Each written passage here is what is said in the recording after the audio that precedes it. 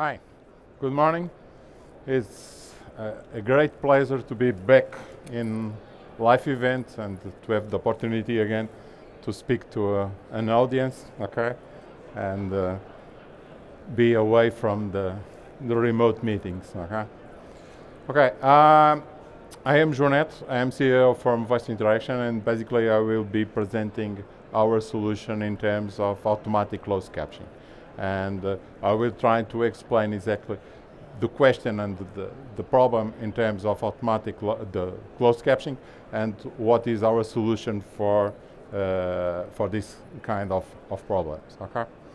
Uh, the first the first thing that we have to understand is the the closed captioning is a difficult task. Okay, you have different uh, problems with the the speakers, the the different accents, the, the sounds that are interfering and um, the fast and diverse content that you have and also the, the problem that is difficult to scale manually, okay? When we are talking about the, the doing this kind of task manually is difficult to, to, to do the scaling when you have different kind of contents and you want to, to do it not only for something as the live, uh, but also for the, the offline content, okay?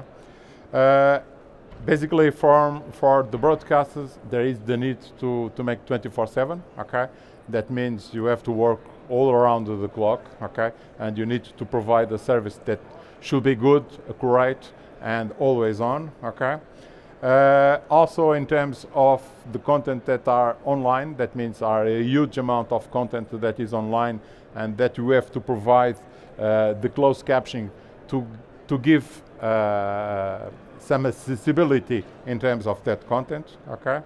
Uh, and is a service that we have to, to, to tailor to the different kind of clients and also to the different um, uh, stations, okay? Uh, one of the things that is relevant is the fact that we need to do some automation, okay?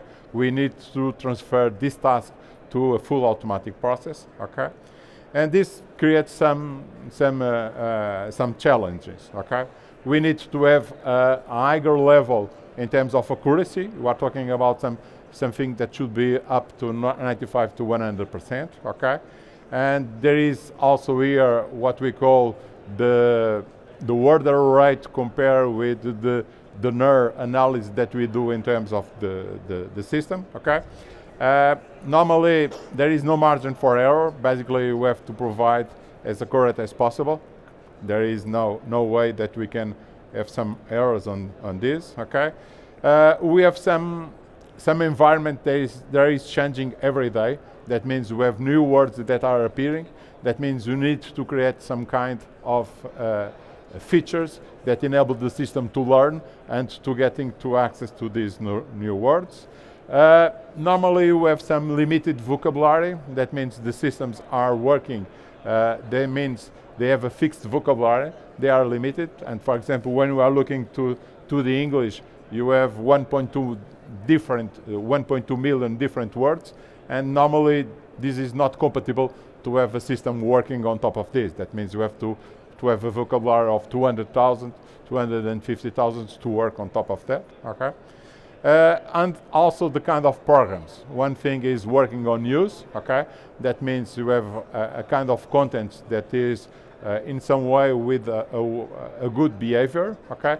Compare when we are talking about entertainment and other kind of programs as sports, uh, where the kind of events are a little bit more aggressive, okay? And you need to have some, uh, some way to, to comply with, um, with that, okay?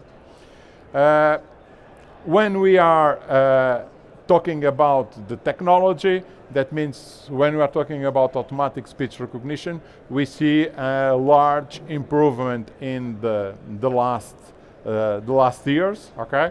And this is basically derived from two different points. One is in terms of CPU, okay? That means we have faster CPU, okay? With access to more memory, okay? And that means uh, the things have been improving uh, uh, a lot, okay? I was just talking with a client and we are discussing latency and the latency is always depending of the clock of the machine, okay? If you have a good machine with a good clock, that means you can work faster and you have a low latency. Without a, a good clock, that means it's a little bit more difficult to have a low latency, okay? And that is the point, okay? Besides the fact that we have uh, uh, a large, uh, uh, good CPUs, the fact that we have large amount of data, okay? And this is crucial at these days because basically we are developing algorithms based on neural networks, okay, with different kind of degrees. And these neural networks are able to learn on data, okay? With more data, with good data, okay, we can have better models. And that's it, okay? And basically the fact that we have faster CPUs with more data give us the opportunity to develop new algorithms, to use this data more correctly, with more quality, and at the end we got a better accuracy, okay? And that's the point, okay? Um, one of the things that is also relevant in terms of this kind of, of automatic systems are the fact they are speaker independent, okay? That means there is no dependence from the speaker. That means I can have different kind of uh, speakers with different kind of dialects, with different kind of accents. And what the system is to do is to be able to learning that kind of variations, okay? Not only in terms of the speaker, in terms of the audio, but also from creating uh, ways to improve the vocabulary, to increase the vocabulary, and to have better models. That means it's not just a question of having uh, uh, good audio, but also creating good models that are able to respond to, to this. And uh, for example, from our side, what we do is creating some uh, specific models. That means, that means the idea is not having a model that fits all, okay? Having specific models to sports or to entertainment or to news, and to be able to creating these models and to updating these models with uh, quality, okay?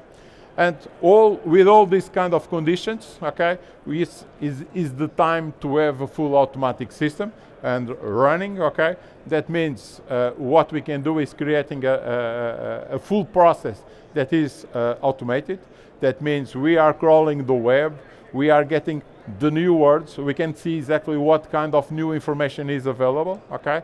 Just looking to that information, uploading the vocabularies, uploading the models, and creating new models with that information, okay? And this can be do uh, fully automatic. We have to put in, in place some machine learning algorithms that are able to distinguish what is new, what we can use from that information, and creating the models uh, daily and with this new uh, uh, information, okay? That means uh, also you can, with this kind of automatic systems, bring access uh, in terms, not only in terms of accessibility, but also in terms of contents, okay? The fact that you can have some knowledge from that kind of content because you can do the transcription and you can use that information from the closed caption together with the, the timestamps to have access to all this kind of information and make this available to all, okay? That is one of the, my, the, the main, main points, okay? Uh, from uh, what we are talking here is about speech recognition. We know that the speech interface will be uh, everywhere, okay? Not only in terms of accessibility, but also, for example, what we have here in terms of media monitoring, uh, assemblies transcription, call centers, medical, uh, the spoken content, uh, lectures in the cars, in house, everyone, every, every place will see the speech interface and this will be relevant. Uh, and we can see different areas where, where the, the speech recognition can have uh, a huge uh, contribution on, on this, okay? Uh, the, other, the other point that is relevant is the fact that we are talking about uh, machine learning, AI uh, driven technology, and the fact that we are working on different areas, okay? Not only in terms of acoustic processing, okay?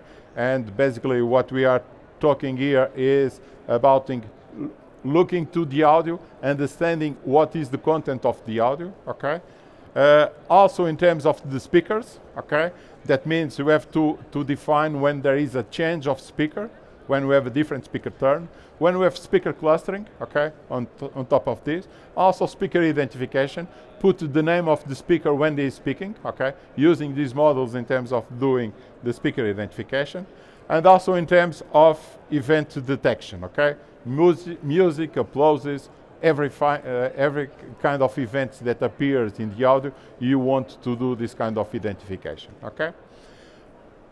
What we have now is the deep neural networks, okay, that are basically on the, on the base ground of these uh, systems, using in terms of acoustic model, speaker independent confidence measures in order to generate the information that is necessary for the next step, that is the language modeling, the, the, the fact that you are creating vocabularies and language models appropriating to specific areas. And the combination, the combination of these different processes in the fact that you are modeling the, uh, the, the, acoustic conditions, the audio, you are modeling the speaker, you are doing the identification and the, the definition in terms of the, the acoustic model in terms of the phonemes for that specific language, and also in terms of the, the way that you are uploading the vocabulary and creating the conditions to have the best model as possible to that specific task. And this, the combination of these that are basically uh, AI driven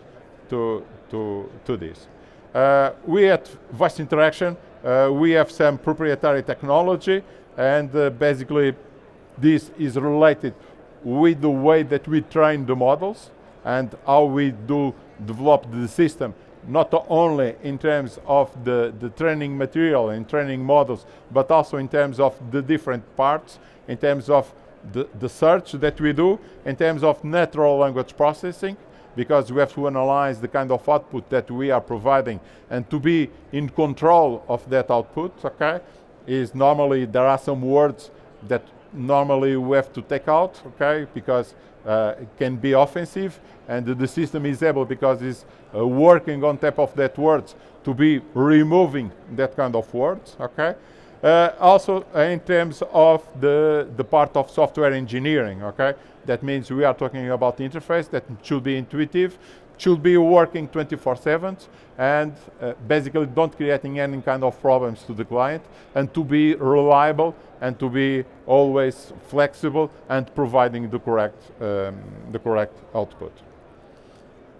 Uh, what we have uh, from Voice Interaction, what we have the solution uh, for real-time closed captioning, okay, is this solution, the Audimus Media.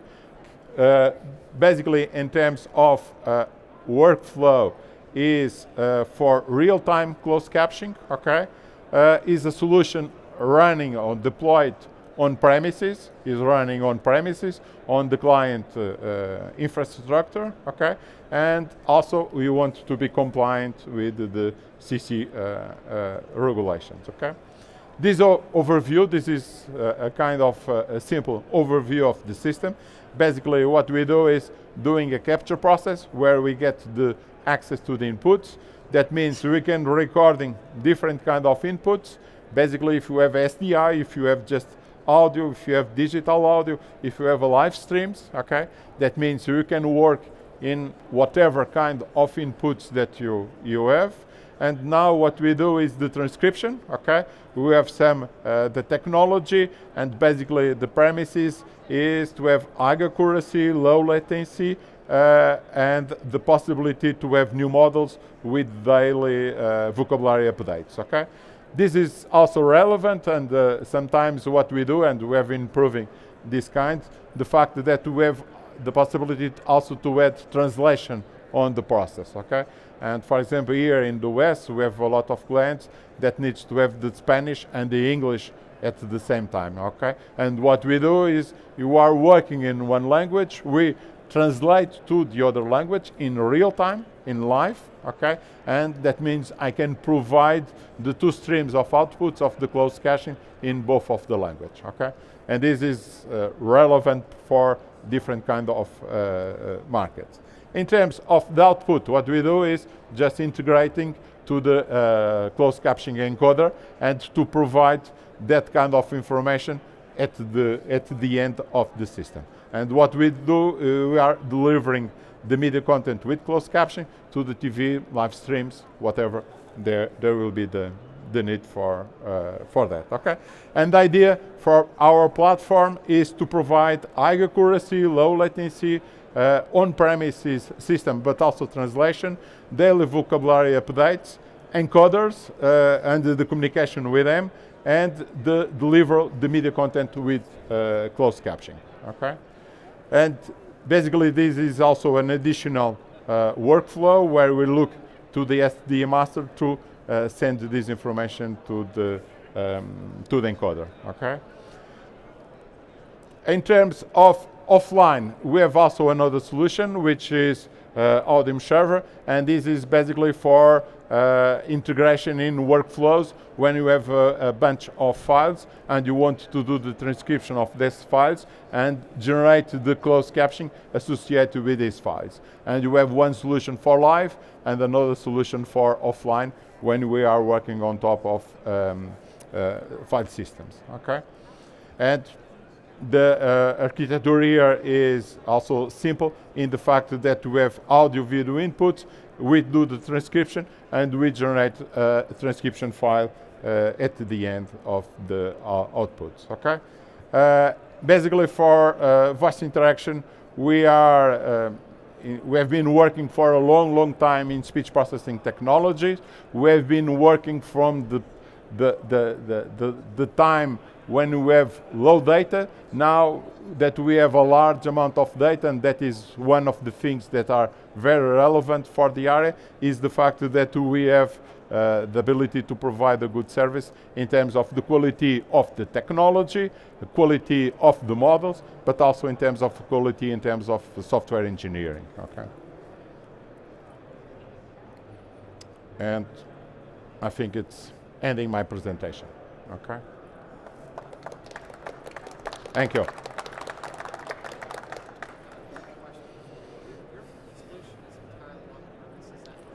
Yeah, on premises.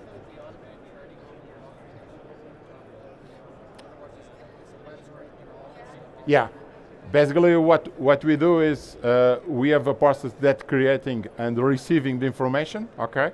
And we generating a new model and you upload, we upload that model to the client that is running on premises.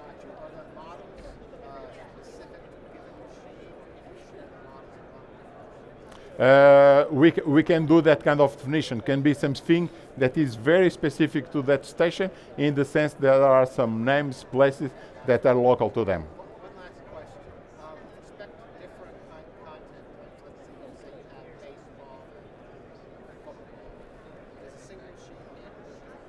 Yes, yes. The model, the model should be should be adequate to that kind of content, but a single machine can uh, work with that. Yeah, yeah. Thank you. Okay, thank you. If you have any, any questions, we are on the, the, the, the stand here. We can just give you all the, all the answers to, to that.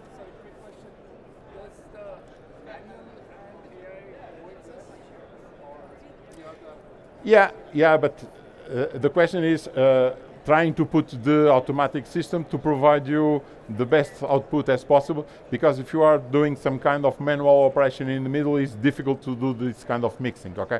Because the speeds are different okay? Because if you have the system and you have to provide all that kind of information with that specific uh, speed it's difficult to put some manual process in the middle okay? But it's something that can be automated to do that okay? Okay thank you. okay.